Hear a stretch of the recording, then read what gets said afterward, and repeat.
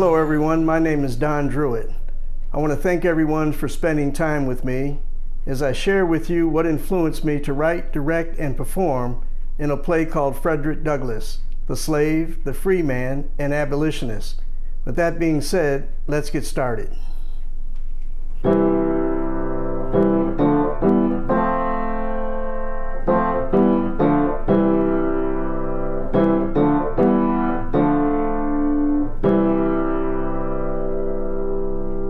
Developed an influence to um, write a play about Frederick Douglass. I was visiting my sister and brother-in-law in D.C. back in 2017, and we ran across this statue of Frederick Douglass.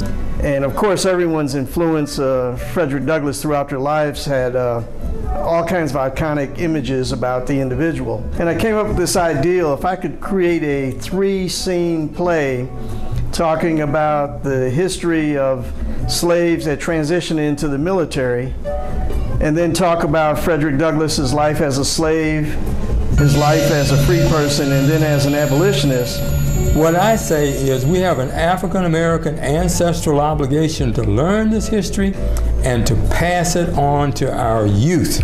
Um, I know you have a coloring book that has um, the, some of the local people that have been prominent in our community.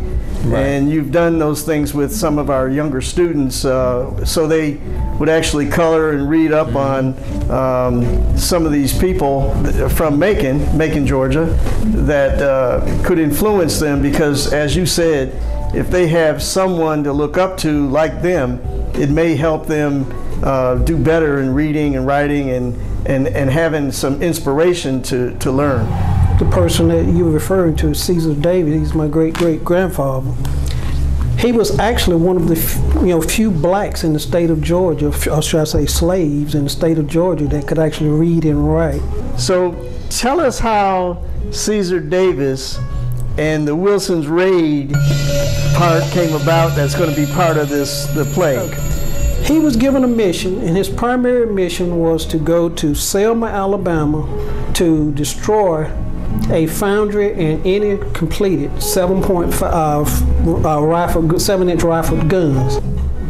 So Harrison Wilson, he was sent south with a corps of men, and their primary mission was to, you know, destroy the ironworks in Selma and also at the same time destroy any completed 7-inch rifled cannon that the Confederacy had. He chose to turn his forces, you know, you know, they're going to turn them east and to march them into Alabama, uh, across Alabama to capture Montgomery. Then to also continue on to hit Macon, which was the capital of Georgia at the time. And this is where your great grandfather story comes into play. What he did was uh, he went into the big house, walked to Mr. Uh, Hightower's desk. He took one of his ledgers and a couple of pencils. He tore all of the front pages out and left the information there for Hightower because he said he didn't want to take nothing that wasn't his, but he left him a note saying that the ledger and the pencils was his pay for his years of labor that he had put into the plantation. So tell us the story of how he met with these officers and convinced them about these uniforms. Oh, okay. Well, first off, uh, he and Columbus, they left the plantation. They went into the city of Selma, and slaves was coming from everywhere when they knew that Union soldiers was there. So when they went to Thomaston, they was getting ready to torch some warehouses there. And they basically what they acquired was about 5,000 Confederate uniforms. And so that's that's how all of this these uniforms came about. Uh, shifting over to Newton Collier.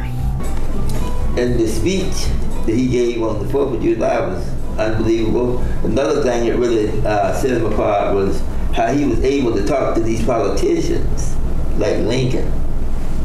And then he had some ties to be with the abolitionists. He was, he worked with some of the people that were, uh, in his day, the abolitionist people. Frederick Douglass was a pretty tall guy. Right. well, I'm I'm going to perform as Frederick Douglass, and, and, and I need to be a little bit taller. So I was able to have a shoemaker make some shoes that are three or four inches high, so I'll be a lot taller. Well, actually, what we've done, we've taken an ordinary shoe and we've taken it, we've prepped the bottom, and we've added build-up material, which is about an inch and a half in height. There's a, a black man that actually created the elastic machine that sewed the top part of the shoe to the sole. Then you actually mention his wife, Anna, who was a seamstress who actually made that seaman's uniform that he used to escape slavery uh, out of Baltimore and some trains up to New York. In the development of the play, I knew I needed to develop as much authenticity of the period of time when Frederick Douglass reigned. Clothing was an important issue, so I conferred with a professional clothier in Macon, Georgia. He came up with the idea of the long jacket and the pinstripe pants and the tie. So uh, we're going to stop by the seamstress shop that had to modify my period clothes that I had to put together for the play. I'm so grateful that you choose me to do your work for your special occasion at Douglass Theater.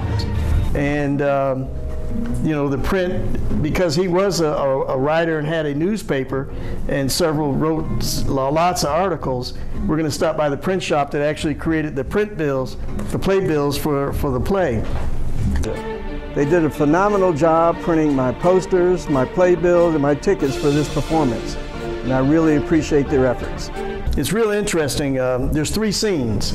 The first scene is going to have to do with this slaves in the military. Get Mel 54th! As I said, my name is Frederick Douglass, and I was born in February sometime in the early 1800s. Well, I found out the answer to my question that very day. Why didn't they want us to learn to read?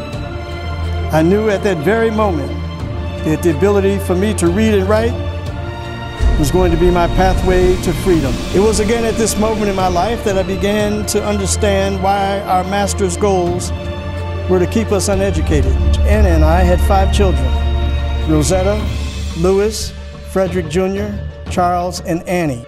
The second scene is going to incorporate his life as a slave, his life as a free person, and an abolitionist. Ten years later, I met with Abraham Lincoln to discuss the unequal pay and poor treatment of black soldiers who were serving in the Union Army during the Civil War. Crowds of people began to doubt if I ever was a slave.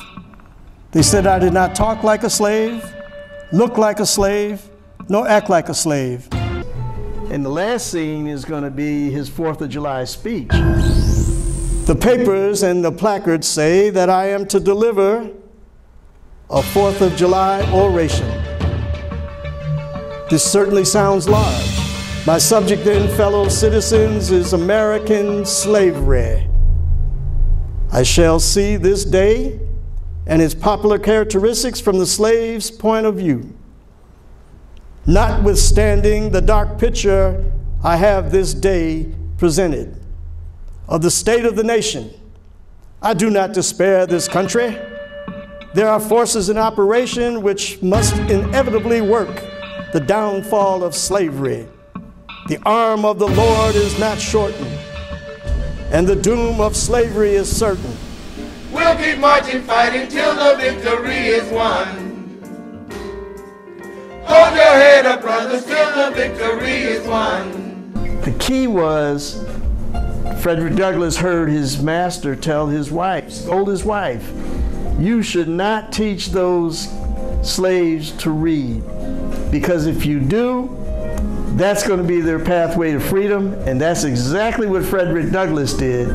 He insisted upon himself to learn how to read so he would find that pathway to freedom. And he took it on his own April the 1st, 1865, to basically confiscate. I'm not going to say he stole, but he confiscated a ledger off of Mr. Uh, Hightower's desk, and he started a diary, and he was able to record all this information. Frederick Douglass, he was instrumental in them getting the, at that time it was called colored troops to, you know, getting the federal government to use colored troops. And so that's actually why in my booklet that I put together, I actually have to, you know, give Frederick Douglass his props. History is basically who you are. And another point is it's really how you develop your purpose in life. And that's why it's so important. The Reverend Ambassador Andrew Young said, America never really was a melting pot. It was more like a Brunswick stew, with each culture adding its scrumptious succulence to the pot and making that stew extremely good. And what I have said is simply this national, state, and local leaders need to keep a very low flame of simmering hope so that they don't scorch the bottom of the pot.